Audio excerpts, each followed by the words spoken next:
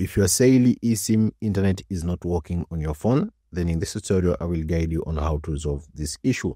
So make sure your phone is connected to Wi-Fi or another mobile data and make sure you have the Saily app. So download the Saily app on the Play Store or App Store. After downloading the app, make sure you have the data. As you can see here, I have mobile data of 1 GB for global.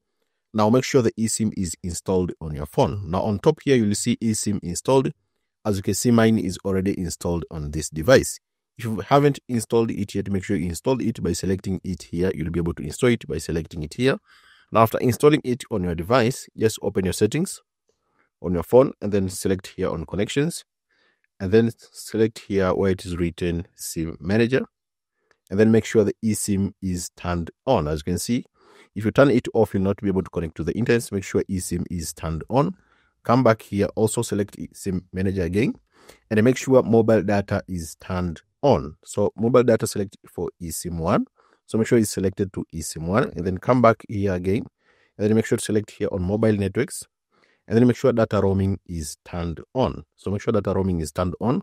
Select on access point names and then make sure to come here to the eSIM side and make sure Saily is selected on the eSIM here on the access point names.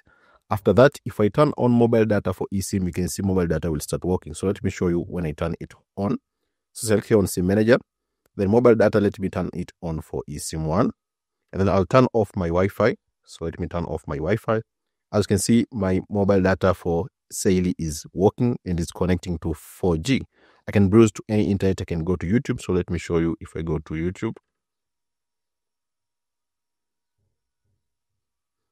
As you can see, it's working. So thanks so much for watching this video and see you next time.